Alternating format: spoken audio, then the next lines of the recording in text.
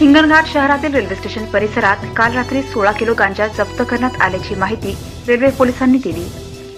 काल रात्री railway police शिपाई पंकज हे ड्युटीवर असताना गस्ती दरम्यान त्यांना बेवारस पोते पडलेले आढळले. चौकशी करताना त्यांना त्यात गांजा असल्याचा संशय आला. रेल्वे पोलिसांनी शहर पोलिसांना याबाबत सूचना देतात हिंगणघाट पोलिसांनी पुढील कारवाई करून सदर माल जप्त केला. रेल्वेतून दारू तसेच अंमली पदार्थांची तस्करी करणे हा नेहमीचा प्रकार आहे. परंतु स्थानिक पोलीस याकडे पद्धतशीरपणे दुर्लक्ष करीत असल्याची चर्चा आहे.